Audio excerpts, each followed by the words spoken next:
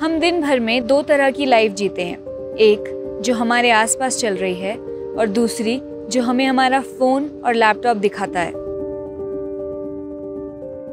इन दोनों लाइफ में सबसे बड़ा फ़र्क तो यही है कि एक नेचुरल है रियल है तो दूसरी फिल्टर्ड और बनावटी।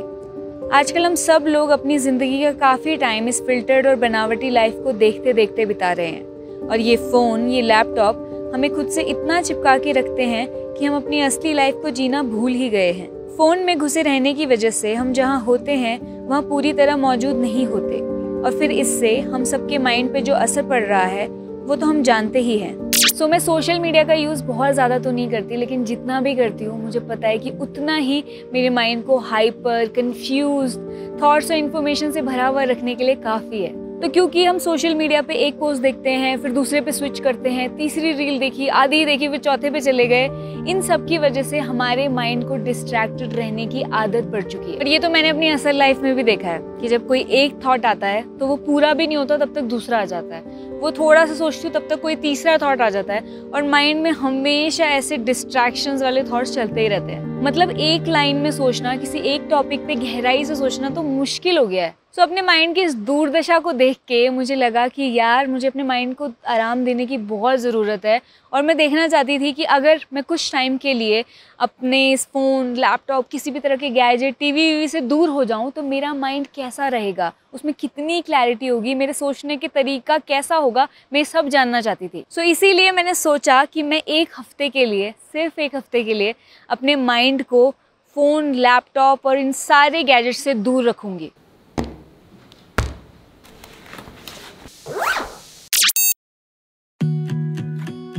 सो so, पहले दिन बिना फ़ोन और लैपटॉप के बिताने में मुझे खास दिक्कत नहीं हुई।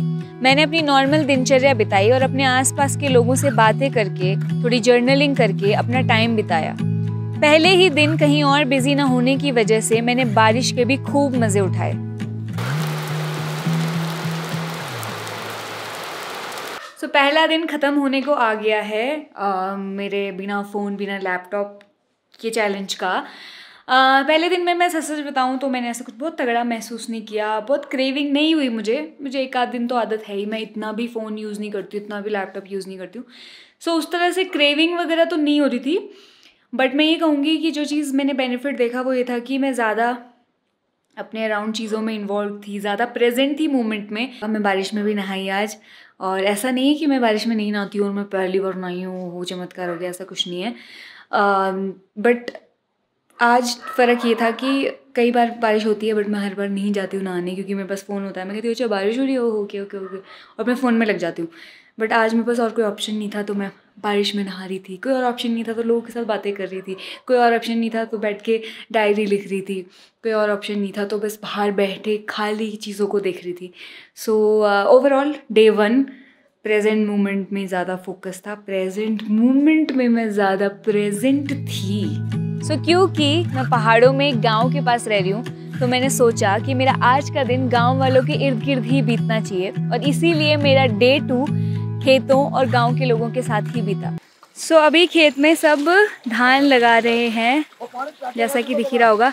धान मतलब चावल का पौधा और चावल के पौधे को ऐसे कीचड़ में लगा रहे हैं क्योंकि उसको बहुत पानी चाहिए होता है इस वाले चावल को और इसलिए ऐसे लगा रहे हैं।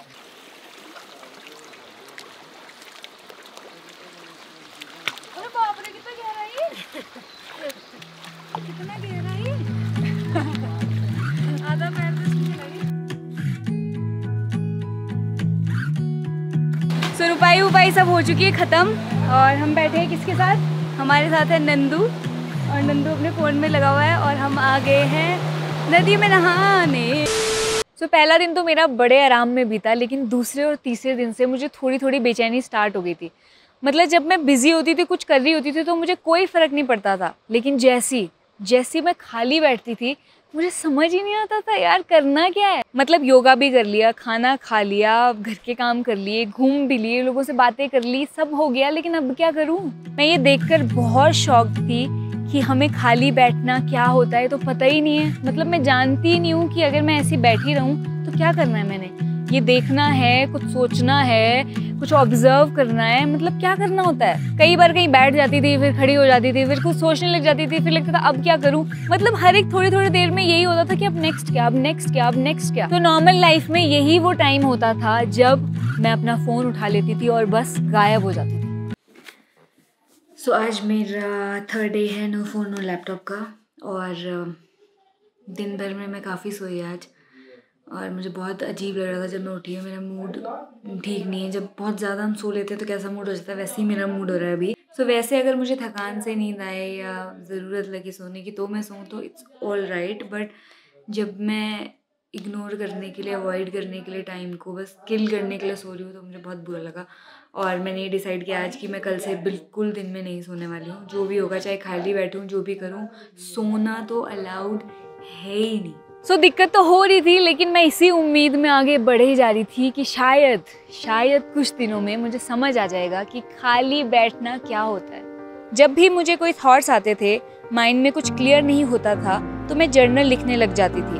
और रोज़ रोज़ लिखते रहने से मैंने देखा कि मेरे अंदर से थॉट्स फ्लो करते जाते थे और मैं अपनी लाइफ के अलग अलग टॉपिक्स के ऊपर लिख पाती थी। जब कुछ और करने को नहीं होता था तो जर्नलिंग लंबे टाइम तक हो रही थी और बातें और गहरी। सो so, इस बार मैंने अपने हर एक दिन को बिल्कुल भी प्लान नहीं किया था। मैंने सोचा था कि जो भी सामने आएगा जो सिचुएशन होगी जहाँ पे रह रही होंगी अराउंड जो लोग होंगे उसमें जो कर पा रही होंगी वो करूँगी। क्योंकि अगर मैं इन सात दिनों में प्लान बना लेती कि ये करूँगी वो करूँगी और बिज़ी हो जाती तो टाइम निकल ही जाता। लेकिन इस बार मुझे बिज़ी कम और मूवमेंट में ज़्यादा रहना था। काम कम और खाली ज़्यादा बैठना था। एक और चीज़ जो मैंने इन दिनों में नोटिस की, वो ये है कि क्योंकि मैं अपने काम से दूर थी, अपनी वीडियो ना बना पा रही थी, ना एडिट कर पा रही थी, ना कोई स्क्रिप्ट लिख पा रही थी, मुझे अपना काम करने का बहुत मन कर रहा था। मतलब जब भी मैं खाली बैठती थी, मैं सोचती थी, यार, काश मैं कोई वीडियो बना लूँ, ये एडिट कर लूँ, वो एडिट कर लूँ। वो सब मुझे याद आ रहा था। जो जब मैं कर पाती हूँ, तब मुझे याद नहीं आता। और मैं अपने माइंड को भी यही कह रही थी कि अच्छा जब काम कर सकते हैं, तब तो करना नहीं है। अब नहीं कर सकते तो वही करना है। मैंने क्लियरली देखा कि हमें जो चीज़ मिल जाती है, उससे हमारा ध्यान हट जाता है और हमारा माइंड कहीं और के ही ख्वाब देखने लग जाता है। माइंड हमेशा कुछ ना कुछ ढूंढ ही रहा होता है। उसको आज लगता है वो चाहिए, फिर वो मिल जाए तो कुछ और चाहिए और दिमाग का ये गेम कभी ख़त्म नहीं होता। इसलिए हम जहाँ भी होते हैं, वहाँ पूरी तरह से नहीं होते। जब भूख लगी होती है बहुत तेज़ तो लगता है, यार, खाना आएगा ना तो कितना खाना खाएँगे, इतने मज़े से खाएँगे, ऐसे खाएँगे, वैसे खाएँगे। जब खाना आ जाता है प्लेट सामने आती है एक ने वाला लिया दो ने वाला है ख़त्म फिर कहीं और ही। अरे यार वो करना था। अरे यार हाँ मुझे तो पता ही नहीं था। माइंड कहीं और ही भाग जाता है। सो so, ऐसे इन दिनों में मैंने अपने माइंड के बहुत सारे पैटर्न्स को पकड़ा और अकेले बैठने की वजह से मैं अपने माइंड के नेचर को ज़्यादा अच्छे से समझ पा रही थी। आखिर के दिनों में अकेले बैठे बैठे मैं ऐसे ही गहरे थॉट्स अपने साथ डिस्कस करती थी। मैंने रिलेशनशिप प्यार पैसा खुशी हर एक चीज़ जो मेरे लिए इम्पोर्टेंट है उसके बारे में खुद से बात की। खुद से मैंने इन दिनों कई सवाल भी पूछे कि मैं कैसे ज़िंदगी बिताना चाहती हूँ और मुझे आगे कैसे बढ़ना है। कई सवालों का तो मुझे बहुत गहरा जवाब मिला, लेकिन कईयों का नहीं भी मिला। बट जवाब मिले ना मिले, मुझे ये तो क्लियरली दिख रहा था कि यार, अपने साथ बातें करना, अपने थॉट्स को समझना, हम क्या चाहते हैं, क्या नहीं चाहते, हमारी खुशी कहाँ है, हमारा दुख कहाँ है, हमारा नेचर क्या है, वो समझना कितना ज़रूरी है। मतलब अगर हमें पता ही नहीं होगा, हम क्या चाहते हैं, हम क्या सोचते हैं, हम कितना खुद को बेवकूफ़ बनाते हैं, कितना नहीं बनाते हैं, हमारी खुशी किस डायरेक्शन में है, कहाँ हमें जाना चाहिए तो हम लाइफ में अच्छा कैसे कर सकते हैं खुश कैसे रह सकते हैं? आखिरी दिन तक आते आते मैंने देखा कि सोशल मीडिया से रिलेटेड थॉट्स माइंड में चलना बंद हो गए थे। थॉट्स अभी भी माइंड में बहुत आते थे लेकिन अपनी लाइफ को लेकर अपनी बॉडी अपने माइंड के नेचर को लेकर आसपास के लोगों के साथ अपने रिलेशनशिप को लेकर ज़्यादा। सो so, ऐसे थॉट्स नॉर्मली भी हमारे माइंड्स में बहुत बार आते हैं कि यार रिलेशनशिप क्या होता है प्यार क्या होता है मेरा रिलेशनशिप कैसा है पैसा चाहिए नहीं चाहिए। हर टॉपिक पे हम थोड़ा थोड़ा वैसे भी नॉर्मली सोचते ही हैं, लेकिन नॉर्मली क्या होता है कि जब हम थोड़ा सोचते हैं, तब तक डिस्ट्रैक्शन आ जाता है। हम बैठे हैं, सोच रहे हैं, फिर हमें लगा कुछ आगे नहीं पहुँच रहे फ़ोन उठाया फ़ोन में लग गए। कोई मूवमेंट अच्छा लगा, कुछ पसंद आ रहा है, कहीं ऑब्ज़र्व करें कुछ अच्छा कर ओ यार फ़ोन निकाल लेते हैं मूवमेंट के अच्छा है ना, इसको रिकॉर्ड करते हैं। जैसी कैमरा खोला, उसको मतलब रिकॉर्डिंग स्टार्ट की, बस माइंड हट गया वहाँ से, वो मूवमेंट ख़त्म। मतलब फ़ोन लैपटॉप इन सब के चक्कर में सब अधूरा ही रह जाता है। सो फाइनली खाली बैठने और फ़ोन और लैपटॉप से दूर रहने की वजह से मेरे ये सातों दिन बहुत गहरे बीते। एक तो थॉट्स बहुत कम हो गए थे माइंड में, काफ़ी शांत हो गया था दिमाग और थॉट्स आते भी थे तो अपनी लाइफ से जुड़ी इंपॉर्टेंट चीज़ों को लेकर ज़्यादा आते थे। दूसरा, अपने आसपास की लाइफ लोगों और चीज़ों में मेरा इन्वॉल्वमेंट ज़्यादा था और इतने टाइम अकेले खाली बैठने की वजह से मैंने देखा कि एंड तक आते आते मैं खाली बैठने में अकेले बैठने में काफ़ी कंफर्टेबल हो गई थी। मतलब मैं ये सोच रही थी कि यार सात दिनों में मेरे में इतना चेंज आ गया है कि मैं काफ़ी घंटों घंटों तक खाली बैठ पा रही हूँ कुछ एक थॉट एक सीध में सोच पा रही हूँ तो मुझे लग रहा था कि यार ऐसी अगर कई महीनों तक करे इंसान तो दिमाग तो क्या से क्या हो जाएगा? सो so, पहली बार अपने फ़ोन और लैपटॉप से इतना दूर आकर मैंने देखा कि सोशल मीडिया की फ़ोन और लैपटॉप की लाइफ हमारी असली लाइफ से बहुत अलग है। जब मैं अपने सोशल मीडिया से दूर थी तो मैं यही सोच रही थी कि यार वहाँ पे क्या ही हो रहा होगा? या तो कोई अपनी best photo best angle best कपड़ों के साथ दिखा रहा होगा, या कोई अपना एक्सपीरियंस बहुत बढ़ा चढ़ा के बता रहा होगा। ज़्यादातर लोगों की स्किन एकदम क्लियर होगी या फिर ज़िंदगी स्लो मोशन और म्यूज़िक के साथ बहुत ब्यूटीफुल लग रही होगी।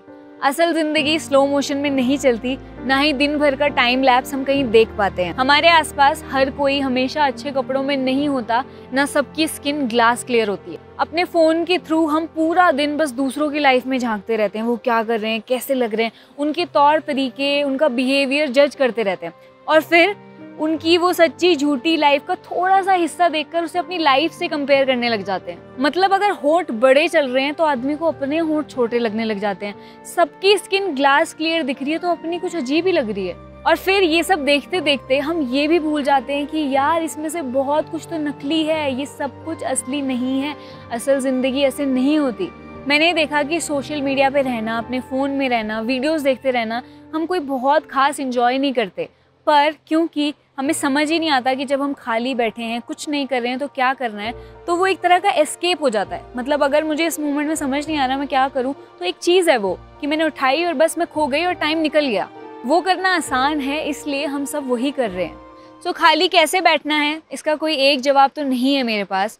लेकिन अगर हम सब लोग कुछ टाइम के लिए फ़ोन और लैपटॉप से दूर रहें, बस खाली बैठें और अपने आसपास की लाइफ में इन्वॉल्व रहें तो हमें सवाल का जवाब ज़रूर मिल जाएगा। और फिर, जवाब सिर्फ़ इसी सवाल का नहीं, बल्कि ऐसे ही कई और दबे हुए इंपॉर्टेंट गहरे सवालों का भी मिल जाएगा।